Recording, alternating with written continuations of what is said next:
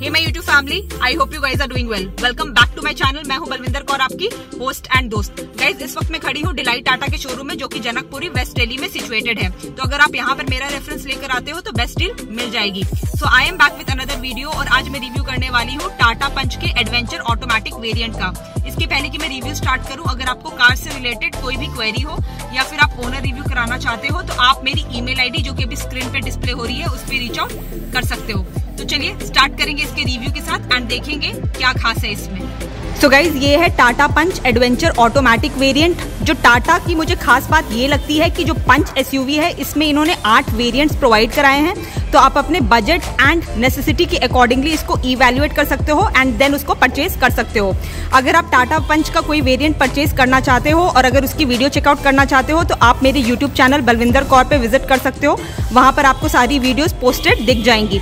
चलिए स्टार्ट करेंगे इसके रिव्यू के साथ। सबसे पहले मैं इसकी ओवरऑल लुक की बात करूँगी तो काफ़ी अट्रैक्टिव स्मार्ट एंड अपीलिंग लगती है ये एसयूवी देखते हैं इसके फ्रंट फेशिया को। तो कुछ इस तरह की यहाँ पर कंपनी आपको फ्रंट लुक प्रोवाइड कराती है। काफ़ी ज़्यादा स्मार्ट लगती है। देखते हैं इसके एलिमेंट्स को वन बाय वन स्टार्ट करेंगे सेंटर के साथ। तो यहाँ सेंटर में आपको टाटा का लोगो देखने को मिल जाता है और उसके साथ यहाँ पर आपको ब्लैक पियानो फिनिश प्रोवाइड कराई गई है, जो कि काफ़ी स्मार्ट लगती है। उसके साथ यहाँ पर आपको ट्राई एरो पैटर्न प्रोवाइड कराया जाता है क्योंकि इसके पीछे हॉर्न की प्लेसमेंट करी गई है तो ये आपकी साउंड क्वालिटी इंश्योर करेगी। उसके साथ यहाँ पर आपको टर्न इंडिकेटर की प्लेसमेंट देखने को मिल जाती है, जो कि आपको हेलोजन के साथ ही प्रोवाइड कराई गई है। नीचे की तरफ़ आऊँ तो कुछ इस तरह की यहाँ पर आपको हेडलाइट का सेटअप देखने को मिल जाता है, ये भी आपको हेलोजन में ही प्रोवाइड करा दिया जाता है। देखते हैं इसके ग्रिल को तो यहाँ पर कुछ इस तरह की पैटर्न आपको देखने को मिल जाती है। ब्लैक कलर में ही ग्रिल प्रोवाइड कराई गई है स्मार्ट लग रही है। अगर मैं इसके पैटर्न की बात करूँ तो यहाँ पर आपको ट्राई एरो पैटर्न ही देखने को मिल जाता है। और उसके साथ फ्रंट में आपको यहाँ पर कोई फॉगलाइट की प्लेसमेंट नहीं कराई गई है। तो अगर आप चाहो तो आप इसको आफ्टर मार्केट फिट करा सकते हो, या फिर एज एन एक्सेसरी आप कंपनी के साइड से ही परचेज कर सकते हो बाई पेइंग एडिशनल कॉस्ट उसके साथ यहाँ पर आपको वाइपर्स की प्लेसमेंट देखने को मिल जाती है। तो ये थी इसकी कंप्लीट फ्रंट लुक अब देखेंगे इसके साइड प्रोफ़ाइल को quickly so this is the side look of the car which is again looking very nice बात कर लेते हैं इसके स्पेसिफिकेशंस की सबसे पहले. तो अगर मैं इसकी ग्राउंड क्लियरेंस की बात करूँ तो यहाँ पर आपको एक सौ mm की ग्राउंड क्लियरेंस कंपनी ऑफ़र करती है. फ्रंट व्हील में आपको डिस्क ब्रेक का ऑप्शन देखने को मिल जाता है और वही रियर व्हील में आपको ड्रम ब्रेक का ऑप्शन कंपनी प्रोवाइड कराती है. देखते हैं इसके अदर एलिमेंट्स को। तो आएँगे इसके तरफ़।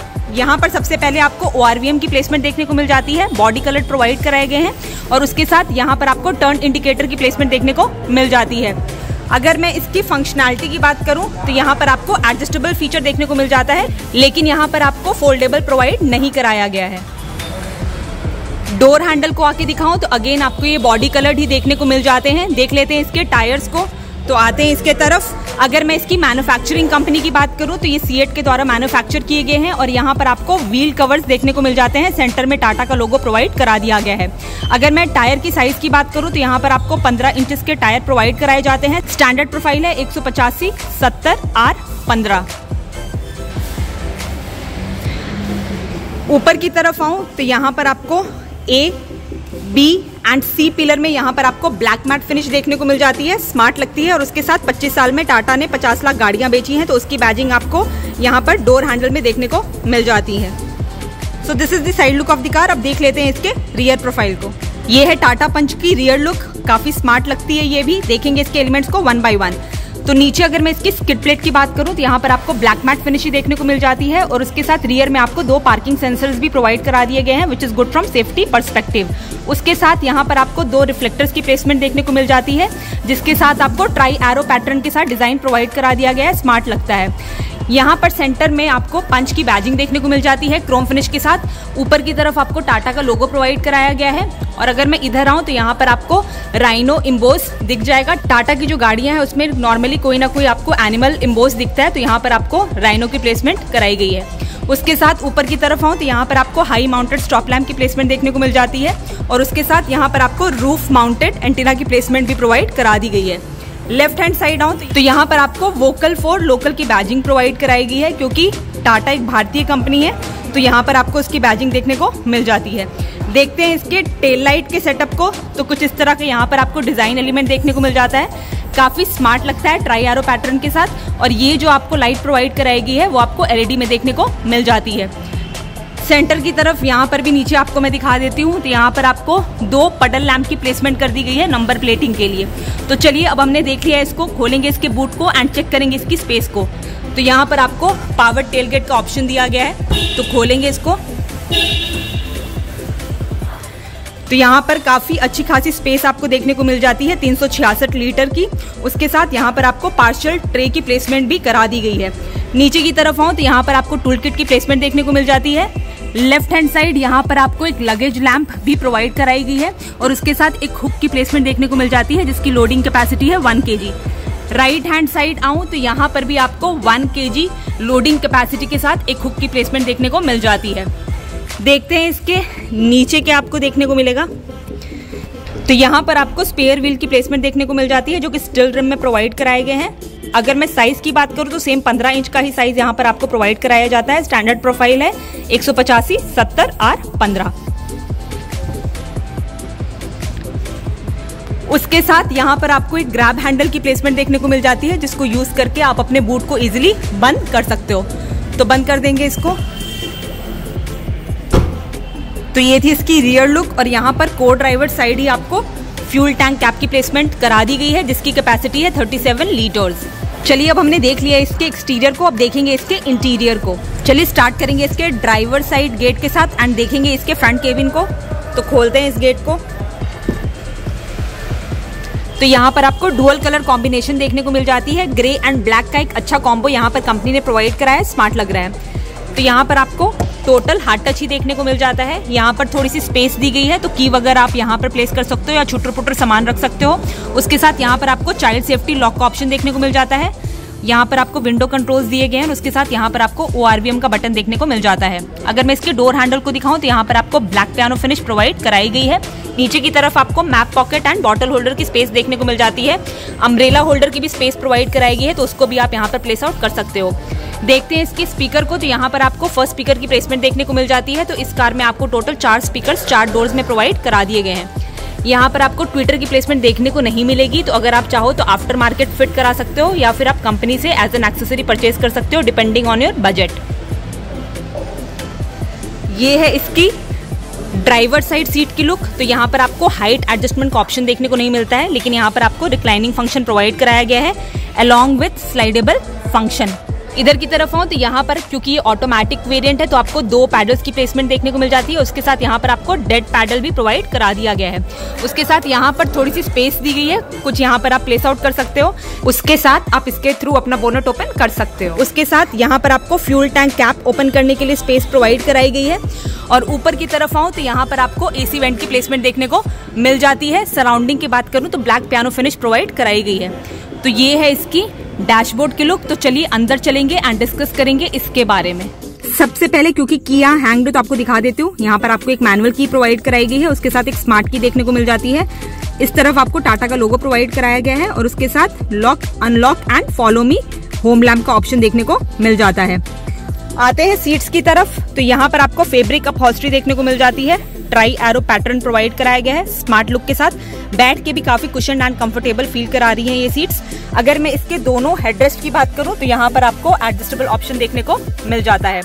लेफ़्ट हैंड साइड यहाँ पर भी आपको एसी वेंट की प्लेसमेंट देखने को मिल जाती है।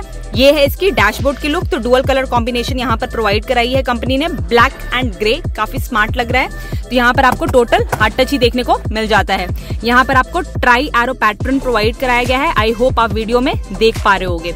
उसके साथ नीचे की तरफ़ यहाँ पर आपको ग्लो बॉक्स की प्लेसमेंट देखने को मिल जाती है। तो खोलेंगे इसको।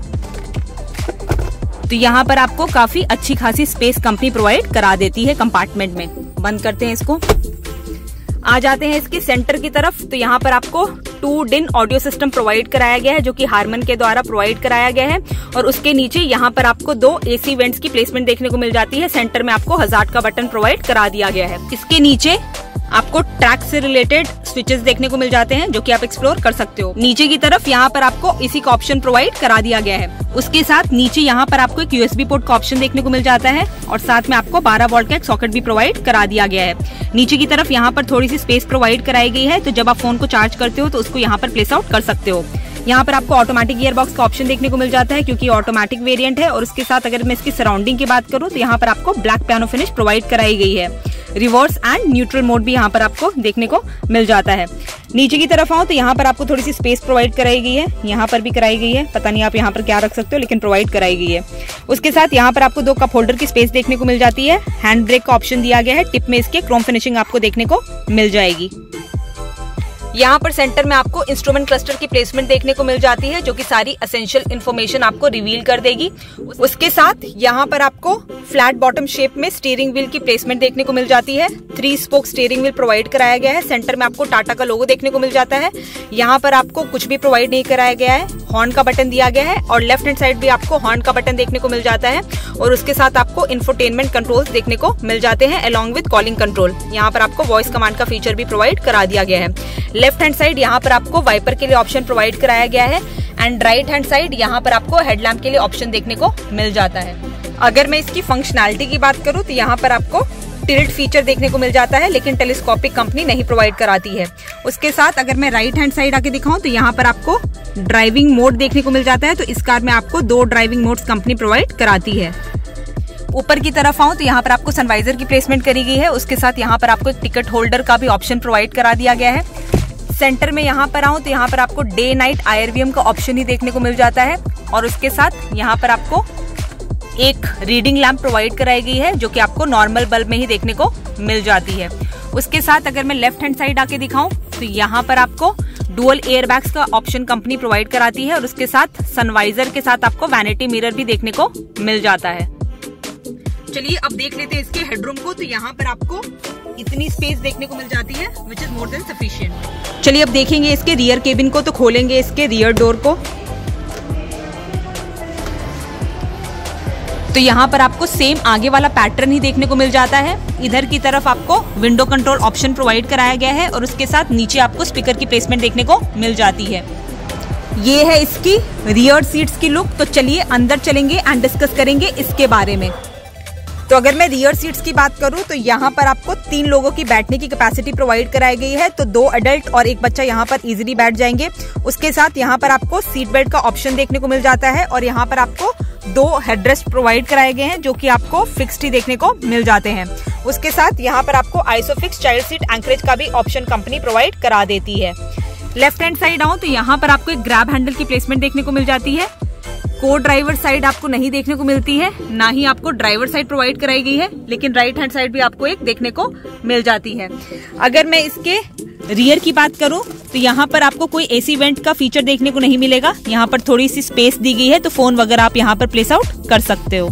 अगर मैं इसके बैक सीट पॉकेट की बात करूँ तो ना ही आपको ये को ड्राइवर साइड और ना ही आपको ये ड्राइवर साइड देखने को मिलेगी। बात कर लेते हैं इसके leg space and knee room की। तो आगे वाली सीट मैंने अपने अकॉर्डिंगली एडजस्ट कर रखी है तो आपको इतना बफर देखने को मिल जाता है। बाकी आप अपने हाइट के अकॉर्डिंगली इसको इवेलुएट कर सकते हो।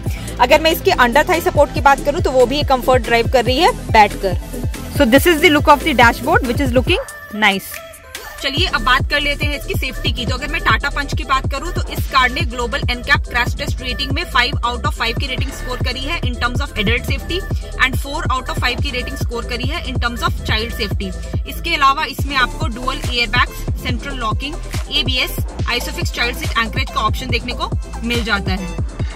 चलिए अब बात कर लेते हैं इसके इंजन की। तो यहाँ पर आपको ग्यारह सौ निन्यानवे सीसी का three cylinder 1.2 litre Revotron engine provide कराया जा रहा है, जो कि छियासी पॉइंट तिरसठ बीएचपी की पावर एंड 115 सौ पंद्रह एनएम का पीक टॉक जनरेट करने में सक्षम है। ये आपका five speed automatic transmission option के साथ आता है।